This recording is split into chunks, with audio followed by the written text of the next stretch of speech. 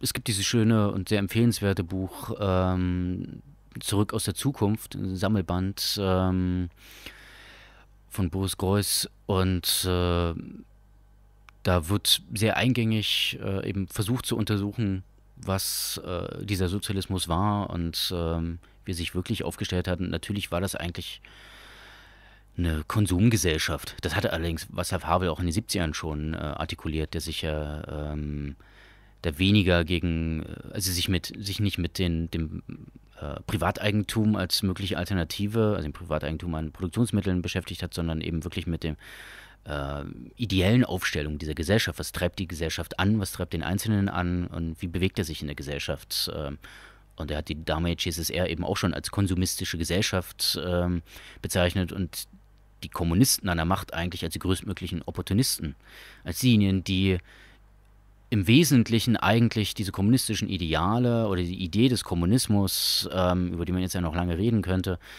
ähm, eigentlich am wenigsten befolgt haben sondern dass die meisten äh, aus Machterhalt, aus Opportunismus, aus dann vielleicht auch Außendruck ähm, über die Persönlichkeitsentwicklung hinweg ähm, ihre Rolle eingenommen haben.